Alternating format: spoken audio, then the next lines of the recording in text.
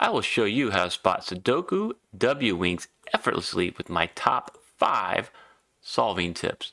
Click below if you want to give this puzzle a go. And with that, it's solving time. So tip number one, W wings are found near the end of the puzzle. So let's find as many restrictions as you can until you get stuck. And so let's look at the ones. You might notice with these two ones and this one, you can solve a one here in block eight. And then take these two ones and this one.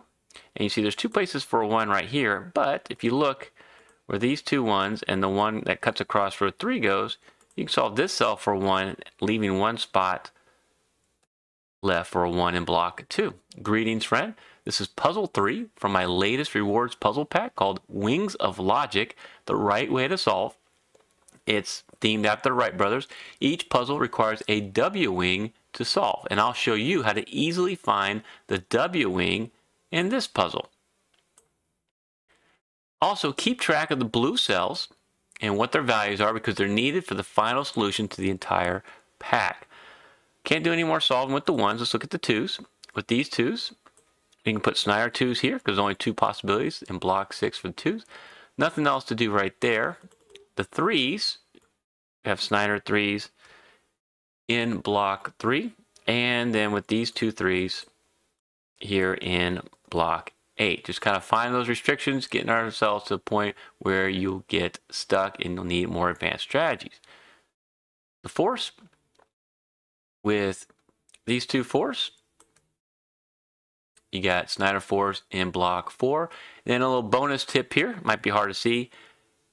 You got a heavy house here in column six. You have one, two, three, seven, and eight. We need a four, five, six, and nine to finish these four cells. Well, if you look at this cell right here, you might see that a 5, 6, and 9 all look at it. So this is actually a naked single 4. Usually with cross-hatching, it might be hard to spot that, but if you see this at this point in the puzzle, it's going to make the solve go a little bit quicker. Okay, and now with these two fours, 4s, you can put Snyder 4s in block 2, and with this 4, these two fours, Snyder 4s in block 9. Move on here. You may have saw at the beginning of the puzzle. You have a 1, 2, 3, 4, 7, 8, and 9. You just need a 5 and a 6. Well, with this 6 right here, this has to be your 6 and this has to be your 5. Okay? And then with these two fives, 5s, got Snyder 5s here in block 2. Nothing else with the 5s, but with the 6s, we can do some more solving. Because with these two sixes, you can solve for 6 in block 3. And then uh, another thing to remember, remember we said here we needed a four, five, six, and 9. We got the 4 done. Now you just need a 5, 6, and 9 to finish column 6. 5 and 9 are right there. This has to be your 6. And then this is going to be a 5, 9 naked pair. So we can put all that in there. And now with these two sixes, you have Snyder 6s in block 7. And then in block four with these two sixes. Yes, Snyder sixes right here. And we're getting closer to the spot where you get stuck. You'll need the W wing. But I want to show you a cute little uh, trick here. You might notice that the sixes are restricted to columns one and three here in block four. But they're also restricted to one and three here in block seven. So what we found here is that the sixes have to be here and here or here and here. So where can a 6 be in column 2? Well, it can't be in block 4, and it can't be here in block 7. So it has to be in block 1. Uh, some people call it the mini X-Wing. I've also heard the term empty column. Basically, when you see this, look up here, and you know a 6 has to be in one of these spots. Obviously, can't be here. Can't be here because of this 6, but you can solve this cell now for a 6 by spotting that. That's a little bonus tip for you. And then after marking that 6 and this 6 and the 6 right here, you can solve for a 6 in block 2. How about the 7s? Well, with this 7 and this 7, you can solve for 7 in block 2, displacing that Snyder 4. Whenever you displace it, we can make another solve right away. And then we can actually solve this for a 2 to finish block 2. Continuing on with the 7s, with this 7 and this 7, you'll notice the 7s are restricted to two spots in block 9, but they're also a pointing pair. since they're in the same row, a 7 can't be anywhere else outside of the block in that row. So you can't put a 7 here anymore. It means the only place to put a 7 now in block 8 is right there because of this 7. Awesome. And now after doing 7 in block 8, you might see with this 7 and these 7s, Snyder 7s in block 4. Okay, moving on, getting close to tip number 2. Let's check out the 8s. With these two eights, you can solve for an 8 here in block 8. And then with these two eights, 8s, you have Snyder 8s here, and you might notice the 3s and 8s are on top of each other. Whenever you see this, you have a hidden pair. Basically, the 3 and 8 are restricted to the same two cells, so nothing else can be there. That is your hidden pair. And if you look down here in block 6, these two 8s, you have 8s right there. And then if you go here in block 9, with these two 8s, you have the 8s right here. What you might notice again is we have another one of these mini X-Wings, right? The 8s are restricted to columns 7 and 9 in blocks 3 and 6. So, you know, 8's got to be here and here, or here and here, that means you can't have an 8 right there. Or you'd run out of spots put the 8s in blocks 3 and 9. So we can actually solve this cell now for another 8. And now let's move on to the 9s. Get the two spots for 9 in block 2. We already found that. And then in block 7 with these two 9s, you can put Snyder 9s here. And it's time for tip number 2. So tip number 2, you'll want to look for the W wings after trying all the easy and medium strategies. Uh, these are more common, they're easier to spot, and you get a, many more solved cells by trying the easier strategies. You need to reduce the possibilities as much as possible to get to the spot where you need the W Wing. And I cover all these strategies that you've seen, these hidden pairs, naked pairs, pointing pairs, in my free Sudoku solving guide. So we're going to go back through, see if we can get some more easy solves. Uh, with this 2 and this 2, you actually have a pointing pair of 2s here in block 1. So the 2s can't be in these spots. So we can solve for 2 here in block 3. And then that will displace the Snyder 2. You solve this cell for a 2, and then we're going to have Snyder 2s in block 9. But you'll also notice that the 2s can only go here in block 8. So it's a nice 2-3 naked pair. And so 2's got to be here and here, or here and here. So now we restrict the 2s to one of these spots in block 7. And since you already have a 2 in the column, you solve that cell now for 2 we displace the Snyder 2 and you can solve this cell for a 2. So these are all easy solves, still making those restrictions as we move along. How about the 4s? Now, where can a 4 be here in block 1? With these two 4s, only place for 4 is right there. That'll give us a nice 5-9 naked pair. And then this 4 and this 4 cutting across, you have a pointing pair of 4s in block 7. So you can displace that 4 put a 4 right there. And then you might notice there's only two possibilities left in row 3 and in block 3. So we want to mark that as a 5-9 naked pair. And this is tip number 3. So tip number 3 is you want to mark as many bi-value cells as you can because W-wings require two bi-value cells at least two bi-value cells. And those are cells that have only two possible candidates in it. So this is a bi-value cell, this is a bi-value cell. So start marking those. When you know the puzzle's hard and you're going to need a W wing, you want to start marking those cells. So let's start add some of these BVCs as we go along. So in column 8, you might see we have seven candidates filled out. So this has got to be a 3 to 5. Okay. And we can do a little bit more solving here.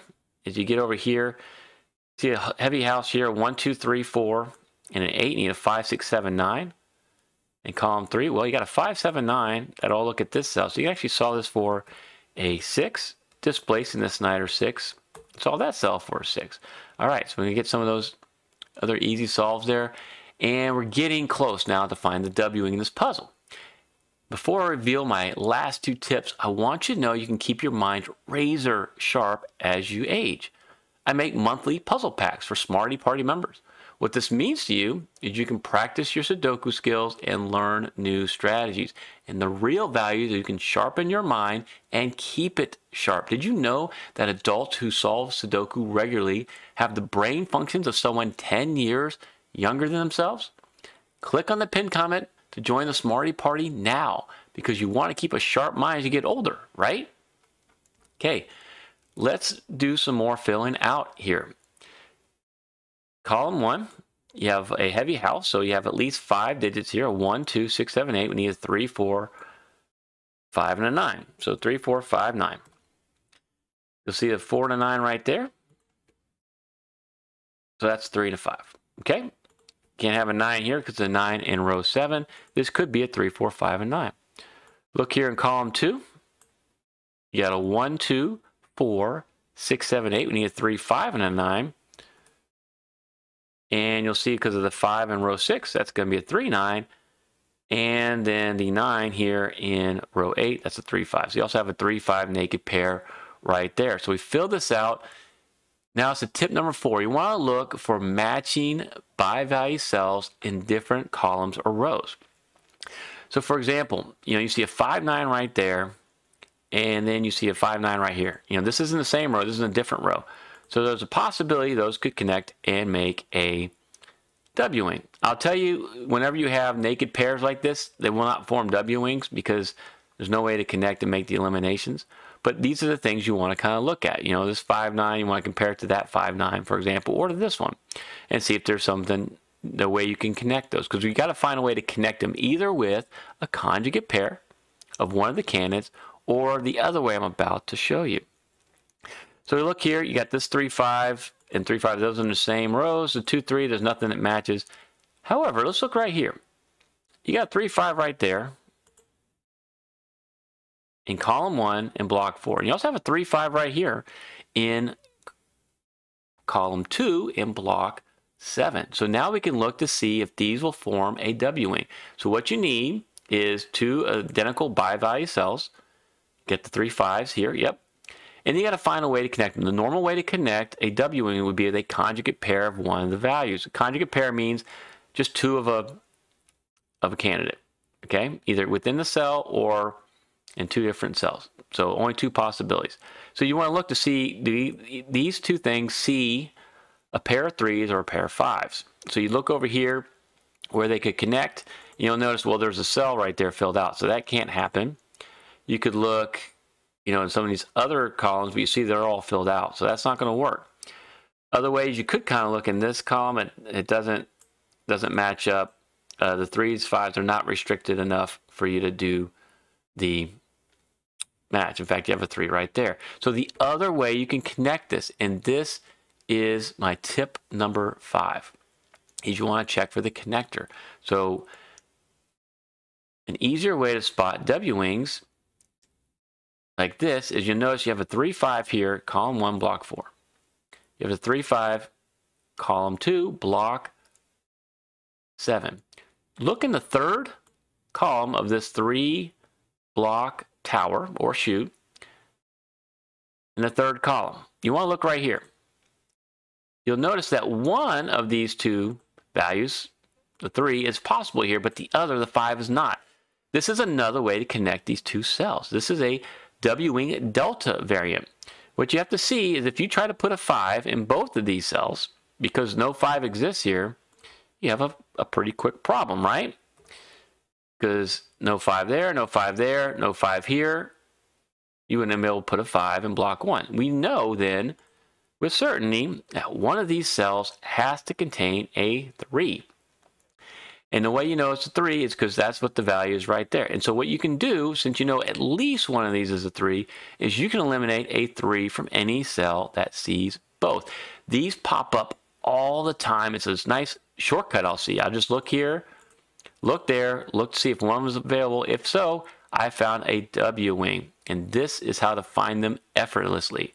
And remember, after I show you the eliminations here, we still have to solve these blue cells. And I'll explain that once we solve them, why they are so important to this puzzle.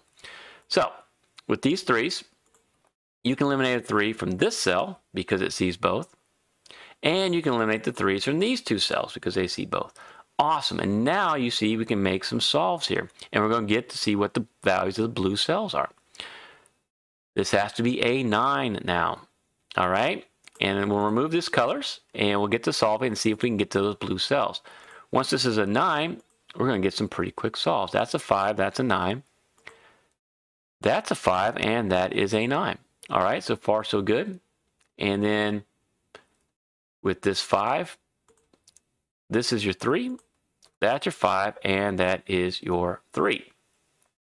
Okay, and with this 9 right here, that means that this has to be a 4, 5, displacing that Snyder 9. I can actually remove some of these marks right there. Whoop. We'll go back, we'll add the values, and we'll get rid of the Snyder marks.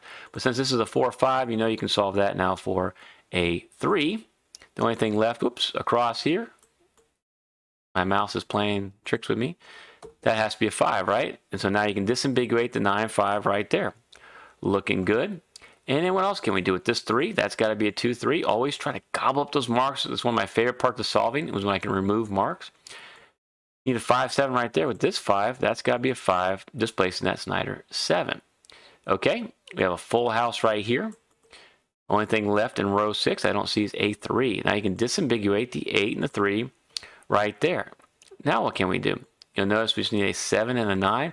Well, with this 9, that means this is your 9 and this is your 7. And so now we filled out all the green, well, we filled out all the blue cells, my apologies, 9, 5, 7. So what you're looking to do in the puzzle pack is you're going to compare it to the values in the other puzzles. One of these three digits that you'll see, every puzzle has a three blue cells, matches a distance that the Wright brothers flew on their first day of flying when they flew the airplane in September 17th, 1903. You can find all those distances you compare it to. It's part of the puzzle pack. I give you those facts along with the whole story of how they got that first aircraft, the Wright Flyer, airborne. But now we know this is a 9, 5, and a 7. So let's move on and finish the rest of the puzzle. Okay, with this 8, you can displace the Snyder 8 solve this cell 4 and 8. Displace in the Snyder 4, this displace the Snyder 7, this displace the Snyder 2. And then with this 4, that's going to be a 4, and our last digit is a 5.